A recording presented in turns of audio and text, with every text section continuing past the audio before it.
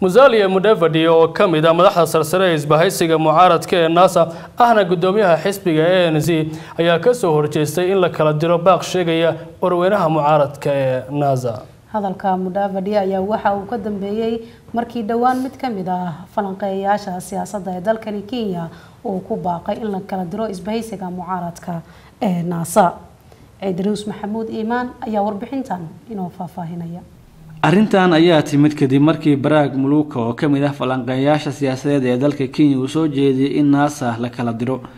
Musaliya mudhafadhi oo horey u soo noqday ra'iisul wasaare ku-xigeen ayaa sheegay in ururweynaha mucaaradka naasa uu weli awood siyaasadeed oo adag uu leeyahay. Waxauu intaasi ku daray in garabka mucaaradka ee naasa uu sii jirayo maadaama sida uu hadalka u dhigay lagu soo dhisay fikrad uu la yimid ka hor doorashadii guud ee sannadkii laba kun toddobiyo tobankii ka dhacday dalkani kenya